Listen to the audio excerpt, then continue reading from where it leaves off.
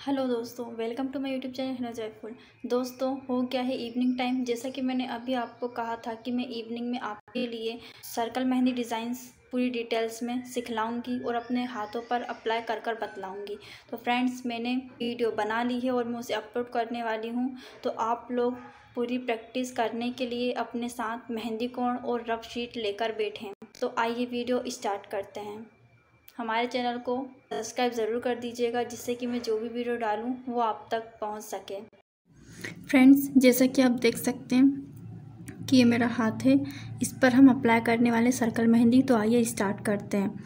देखिए फ्रेंड्स, हमारी ये जो मिडिल फिंगर है, फ्रंट से हम लोग को आना है अपने हथेली के बीच में। फ्रंट साइड के हथेली के बीच में यहाँ पर आए मतलब कि यहाँ से अपन को लाइन खींचना है, आगे तक।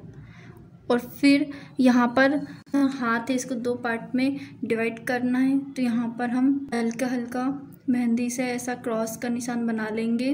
तो यहाँ पर हमें एक पॉइंट मिल जाएगा, जैसे कि आप देख सकते हैं। पर हमें एक पॉइंट मिल चुका है। तो अब हम हमारी सर्कल मेहंदी बनाना स्टार्ट कर सकते हैं। ना ही आपकी मेहंदी इधर जाएगी ज़्यादा, ना ही आपकी मेहंदी इधर जाएगी और ना ही ऊपर होगी और ना ही नीचे होगी।